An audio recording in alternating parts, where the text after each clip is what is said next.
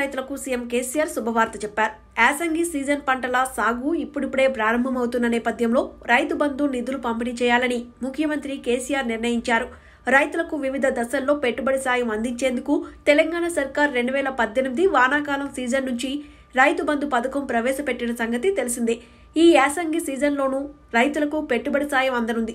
ఇందుకు సంబంధించిన నగదును ఈ నెలాఖరులో గాని డిసెంబర్ మొదటి వారంలో గాని రైతుల అకౌంట్లలో జమ చేయనున్నట్లు తెలుస్తోంది. ఈ నెలాఖరు వరకు రైతు బంధు నిధులు పంపిణీ ప్రారంభిస్తారని సమాచారం అందుతోంది. ఈ పథకం ద్వారా ఒక ఎకరం ఉంటే ఐదు వేలు రైతుల ఖాతాలో జమ అవుతాయి. పంటలు సాగు చేసినా చేయకపోయినా భూమి ఉన్న ప్రతి రైతుకు రైతు బంధు నిధులు అన్నదాతల ఖాతాల్లో జమ అవుతాయి. ఈ దఫా సుమారు ఏడు వేల ఐదు వందల కోట్లను కోటిన్నర ఎకరాలకు పంపిణీ చేయనుంది తెలంగాణ ప్రభుత్వం. సీఎం ఆదేశాల మేరకు నిధుల సర్దుబాటుపై ఆర్థిక శాఖ దృష్టి సారించినట్లు సమాచారం. ఇక ఈ నెలాఖరి వరకు నిధులు సర్దుబాటు కాకపోతే డిసెంబర్ మొదటి వారంలో రైతు బంధు డబ్బులు విడుదల కానున్నాయి. ఇదిలా ఉండగా తెలంగాణలో వడ్ల కొనుగోలుపై కేంద్ర ప్రభుత్వానికి వ్యతిరేకంగా ఆందోళన చేపట్టిన విషయం తెలిసిందే.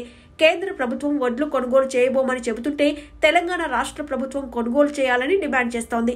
ఢిల్లీ పర్యటనలో ఉన్న ముఖ్యమంత్రి కేసీఆర్ బియ్యం కొనుగోళ్ళ అంశంపై కేంద్ర ప్రభుత్వంతో చర్చించి ఓ నిర్ణయానికి వస్తారు. ఆ తర్వాత యాసంగి సీజన్లో సాగు చేయాల్సిన పంటల ప్రణాళికతో పాటు రైతు బంధు నిధుల విడుదలకు సంబంధించి ఆదేశాలు ఇస్తారని ఈ నెలాఖరు వరకు రైతు బంధు నిధులు పంపిణీ ప్రారంభిస్తారని విశ్వసనీయ వర్గాల ద్వారా తెలిసింది.